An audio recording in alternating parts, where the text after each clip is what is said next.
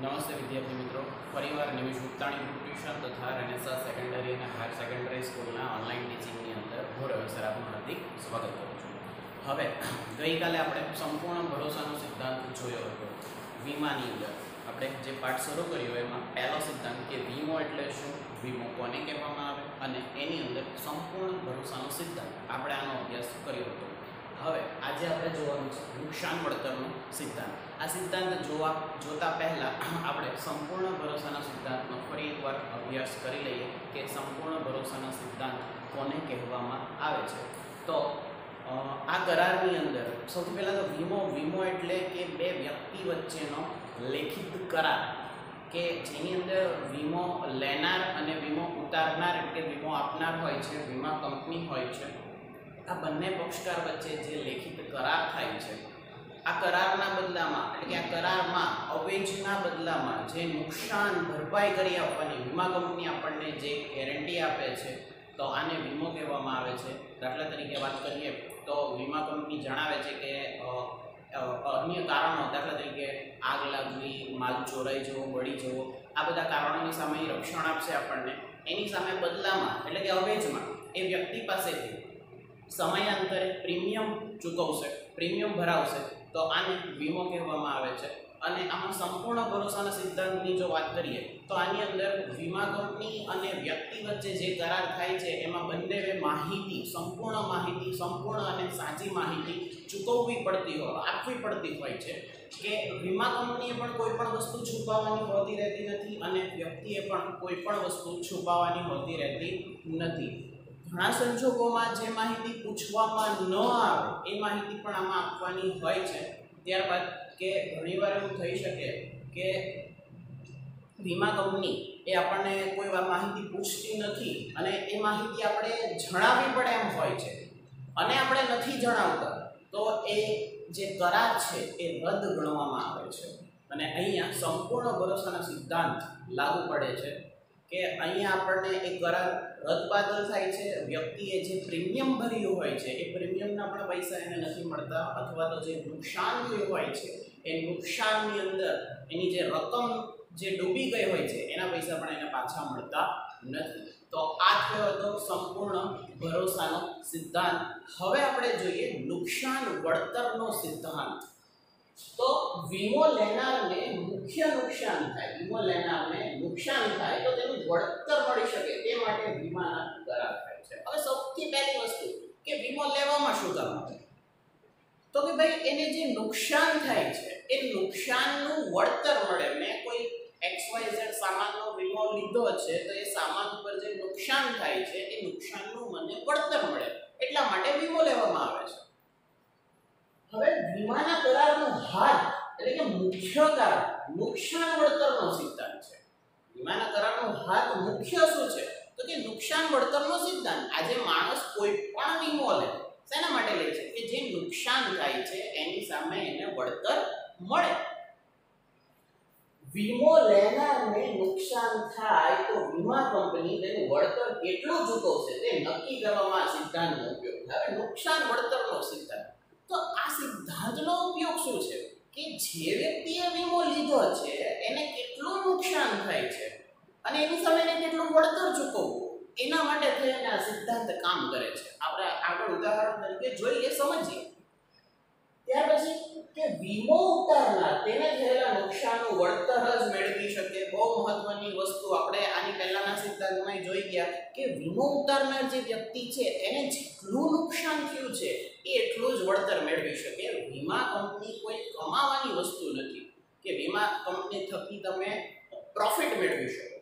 તમને જે નુકસાન થાય છે, નુકસાનની સામે એટલા જ વળતર, એટલું જ વળતર તમને મળે છે. બરાબર? ત્યાર પછી કે તે નફો કરી શકતો નથી, અર્થાત નુકસાન થયું હોય, એટલે જો તે નફો કરી શકતો નથી, અર્થાત નુકસાન થયું હોય, તેનાથી વધુ રકમ, નુકસાનના વળતર તરીકે મેળવી શકતો નથી. કે ભાઈ, દસ લાખનો સામાન છે, તો દસ લાખના સામાનની સામે બાર લાખ, દસ લાખના સામાન મેળવે દસ લાખનો વીમો મેળવ્યો હોય, કે દસ લાખનો વીમો લીધો હોય, તો એની સામે બાર લાખ ન મેળવી શકે દસ લાખના સામાનમાં જો એણે એને સો ટકા વીમો લીધો હોય તો એને દસ લાખ રૂપિયા જ મળે. એનાથી વધારે રૂપિયા ન મળે. એટલા માટે એને શું કે નફો કરી શકતો નથી. આમાંથી નફો નથી થતો. પણ નુકસાન થયું હોય તેનાથી વધુ રકમ નુકસાનના વળતર તરીકે પણ મેળવી શકતો નથી. ત્યાર પછી કે વીમો લેનાર વસ્તુની કિંમત કરતા ઓછી કિંમતનો વીમો ઉતરાવે તો ગર્ભિત રીતે સ્વીકારે છે કે ઓછી કિંમતના પ્રમાણસર માટે નુકસાન ભોગવશે હવે આનું ઉદાહરણ જોઈએ કે દસ લાખનો સામાન છે અને એ પાંચ લાખનો વીમો લે છે. બાકી પાંચ લાખનો વીમો નથી લેતો અને પ્રીમિયમ પાંચ લાખનું જ ભરે છે. તો આનો મતલબ એમ થયો કે ગર્ભિત એટલે કે આંતરિક રીતે એ એવું સ્વીકારે છે કે ભાઈ મારો જો દસે દસ લાખનો સામાન બળી ગયો, ચોરાઈ ગયો આખી નાશ પામી એક્સ વાય ઝેડ કારણોનો જે વીમો લે છે, તો એને વીમા કંપની માત્ર ને માત્ર પાંચ લાખ રૂપિયા ચૂકવવા માટે બંધાયેલી છે. શું કામ? તો કે એ વ્યક્તિએ વસ્તુની કિંમત કરતા ઓછી કિંમતનો વીમો ઉતરાવ્યો છે. બીજી વસ્તુ, એ પોતે ગર્ભિત રીતે સ્વીકારે છે કે ઓછી કિંમતના પ્રમાણસર નુકસાન તે પોતે ભોગવશે. હવે, અહીંયા આપણે આના બે ત્રણ ઉદાહરણો જોઈએ. સૌથી પહેલું ઉદાહરણ હું તમને કે કોઈ વ્યક્તિ છે, એણે પાંચ લાખનો વીમો લીધો. સાંભળો. કોઈ વ્યક્તિ છે, એણે પાંચ લાખના સામાનનો એનો વીમો લીધો. હવે, પાંચ લાખના સામાનના વીમાની અંદર એ વ્યક્તિનો ત્રણ આગનો વીમો લે છે અને ત્રણ લાખનો માલ બળી જાય છે. તો એ વ્યક્તિને જે નુકસાન થયું છે, એ ત્રણ લાખ રૂપિયાનું થયું છે. તો એને કેટલા રૂપિયા મળશે? તો કે એને ત્રણ લાખ રૂપિયા મળશે આ પહેલી વસ્તુ. એટલે અહીંયા કઈ વસ્તુ? કે નુકસાનનું વળતર મેળવી શકે. વીમો ઉતારનાર તેને થયેલા નુકસાનનું વળતર જ મેળવી શકે. આ વસ્તુ નક્કી થઈ કે જેટલું નુકસાન થયું, એટલું જ મળે. વધારે ન ત્યાર પછી બીજી વસ્તુ. કે એ જ વ્યક્તિએ પાંચ લાખનો દસ લાખનો માલ છે, એમાંથી પાંચ લાખના માલનો વીમો લીધો. અને બાકીના પાંચ લાખના માલનો વીમો નથી લેતો. અને પાંચ લાખનો માલ બળી જાય છે, તો એ વ્યક્તિને પાંચ લાખ રૂપિયા જ મળે બાકીના સોરી એ વ્યક્તિએ દસ લાખના માલનો વીમો લીધો છે અને પાંચ લાખનો માલ બળી જાય છે. અરે સોરી દસે દસ લાખ રૂપિયાનો માલ બળી જાય છે, તો એ વ્યક્તિને માત્ર પાંચ લાખ રૂપિયા જ મળે. આનો મતલબ શું થયો? કે એ વ્યક્તિ વીમો લેનાર વસ્તુની કિંમત કરતા ઓછી કિંમતનો દસ લાખનો માલ હતો, એમાંથી એણે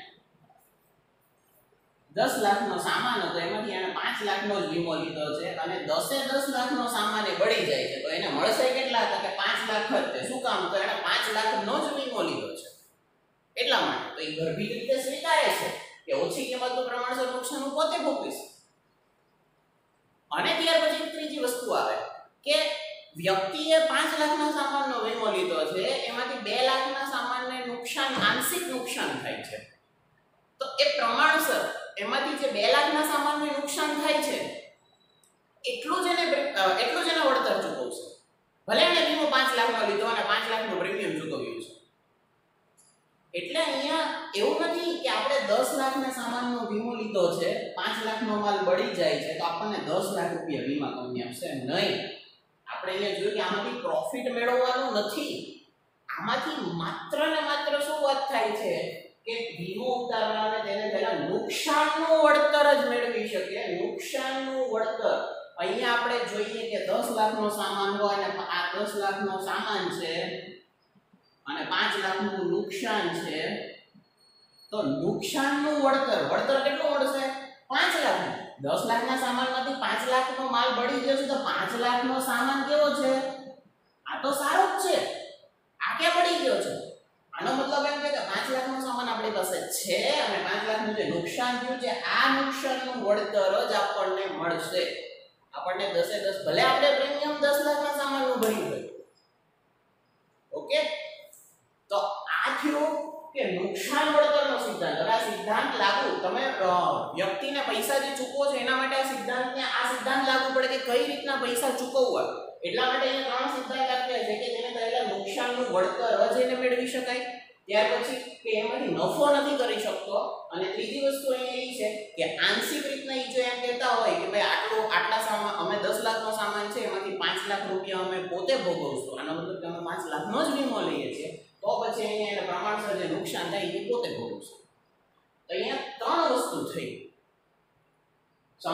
સોરી નુકસાન વળતરના સિદ્ધાંત. હવે અહીંયા એના પછી છે કે વીમા યોગ્ય હિતનો સિદ્ધાંત. કે તમે વીમો લ્યો છો, એમાં તમારું યોગ્ય હિત હોવું જોઈએ. આજે હું મારા ઘરનો વીમો લઈ શકું. હું બાજુવાળાના ઘરનો વીમો ન લઈ શકું. શું કામ? તો બાજુવાળાના ઘરમાં મારું કોઈ હિત નથી. મારા ઘરમાં મારું હિત છે. આજે હું મારી મોટરસાઇકલનો વીમો લઈ શકું. બીજા કોઈની મોટરસાઇકલનો વીમો ન લઈ શકું. શું કામ? તો કે મારી મોટરસાઇકલમાં મારું છે મારી મોટરસાઇકલ છે. એને કોઈ પણ વસ્તુ થશે, એને નુકસાન થશે, તો મારે ભરપાઈ કરવાનું છે એટલા માટે. કે વીમા યોગ્ય હિતનો સિદ્ધાંત એટલે વીમો લેનારને વીમા વસ્તુમાં આર્થિક હિત હોવું જોઈએ.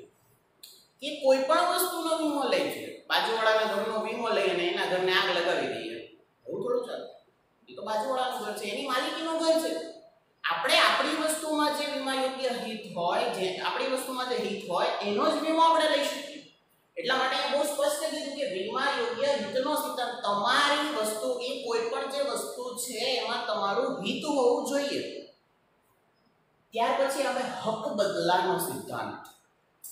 કે જ્યારે વીમા યોગ્ય વસ્તુનો વીમો લેવામાં આવે અને તે નાશ પામે, તો વીમા કંપની તેનું વળતર ચૂકવે છે દાખલા તરીકે દસ લાખના સામાનનો વીમો લીધો દસ લાખનો સામાન દસે દસ લાખનો સામાન નાશ પામે. તો વીમા કંપનીનું વળતર આપણને ચૂકવશે ત્યારે નાશ પામેલ પામેલી વસ્તુની માલિકીનો હક વીમા કંપનીનો બને. હવે આ દસ લાખનો સામાન બળી ગયો કે ભડથું થઈ ગયો કે જે હોય તે, એ સામાન ઉપર હક કોનો છે? વીમા કંપની શું કામ? તો કે દસ લાખના સામાનની સામે આપણે દસ લાખનો વીમો લીધો હતો એણે તો દસે દસ લાખ રૂપિયા ચૂકવી દીધા. હવે એ એ જે બળી ગયેલો સામાન છે, એ જે ભંગાર થઈ ગયેલો સામાન છે, એની પર હક કોનો છે? તો વીમા કંપની એટલે આપણે એમ કીધું હક બદલાનો સિદ્ધાંત. તમને તમારા સામાનના પૂરેપૂરા પૈસા મળી જાય તો હવે વીમા કંપની સામાન લઈ જશે. બીજું કે તેના ઉપર મૂળ માલિકનો હક રહેતો નથી. આ બાબત જિંદગીના વીમામાં લાગુ પડતી નથી. જીવનના વીમામાં. હવે જો અત્યાર સુધી તો આપણે સામાનના માલ સામાનના વીમાની વાત કરી હવે આગળ આવશે જીવનનો વીમો. જીવનનો વીમો એટલે કે માણસ પોતાનો વીમો ઉતારે છે. માણસ એવો વીમો ઉતારે કે ભાઈ, હું મૃત્યુ પામું, ત્યાં સુધીનું હું પ્રીમિયમ ભરું જીવન વીમાની અંદર. અને હું મૃત્યુ પામું પછી મારા ઘરના અથવા તો એના જે વારસદાર હોય એને આટલા રૂપિયા મળવા જોઈએ. તો ત્યારે વીમા કંપની એમ નથી કીધી કે આ માણસે વીમો ઉતાર્યો તો હવે માણસની બોડી અમે લઈ જઈએ. એ માણસના જિંદગીના વીમોમાં નિયમ લાગુ પડતો નથી. ઓકે? તો અહીં આપણને હક બદલાનો સિદ્ધાંત. ટોટલ ચાર સિદ્ધાંત આપણે ગઈકાલે જોયો, સંપૂર્ણ ભરોસાનો સિદ્ધાંત. ત્યાર પછી બીજો આવે, નુકસાન વળતરનો સિદ્ધાંત. કે ભાઈ જે નુકસાન થયું તો એની આપણે વળતર કઈ રીતના ચૂકવો એના માટે આપણે ત્રણથી ચાર વસ્તુઓ જોઈ. બરાબર? કે ભાઈ સૌથી પહેલા તો આપણે જોયું કે પાંચ લાખનો માલ લીધો હોય અને પાંચ લાખના માલમાં પાંચ લાખનો સામાન હોય, એમાં પાંચે પાંચ લાખનો વીમો લીધો હોય ત્રણ લાખનો સામાન પડી જાય, તો કેટલા ચૂકવવામાં આવે? ત્રણ લાખ, દસ લાખનો સામાન હોય પાંચ લાખનો વીમો લે છે અને દસે દસ લાખનો સામાન પડી જાય છે. તો કેટલા ચૂકવાનું કે તો પાંચ લાખ જ ચૂકવાના શું કામ? તો એ કિંમત કરતાં ઓછી કિંમતનો વીમો ઉતારે છે અને પોતે સ્વીકારે છે ગર્ભિત રીતે. કે જે નુકસાન થાય છે પ્રમાણસર પોતે ભોગવશે. ઓકે? અને ત્રીજી વસ્તુ કે દસ લાખનો સામાન લીધો હોય અને દસે દસ લાખનો માલ પડી જાય છે, સ્વાભાવિક છે તો વીમા કંપનીએ પૂરેપૂરી રકમ ચૂકવવી પડે. આ નુકસાન વળતરનો સિદ્ધાંત ત્યાર પછી બીજો વાત કરીએ તો વીમા યોગ્ય હિતનો સિદ્ધાંત કે ભાઈ તમે જે સામાન, જે માલ સામાનનો વીમો લ્યો છો, એમાં તમારું કોઈ પણ જાતનું હિત હોવું જોઈએ. માલિકી હક હોવો જોઈએ. તો તમે માલ સામાનનો વીમો લઈ શકો છો. અધરવાઇઝ તમે નથી લઈ શકતા. મેં તમને કીધું કે તમે બાજુવાળાના ઘરના વીમો નથી લઈ શકતા. તમે કોઈ બીજા વ્યક્તિની ગાડીનો કે એનો વીમો નથી લઈ શકતા. એમાં તમારું જો કોઈ હિત હોય તો તમે માત્ર વીમો લઈ શકો છો.